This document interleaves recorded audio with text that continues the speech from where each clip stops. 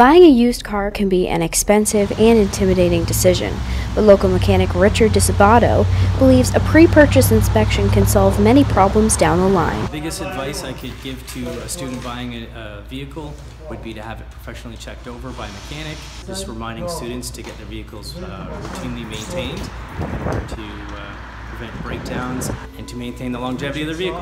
DeSabato believes that keeping up with your regular oil changes and servicing your vehicle on schedule can save you money in the long run. I'm Ashley Ferraro for XFM News.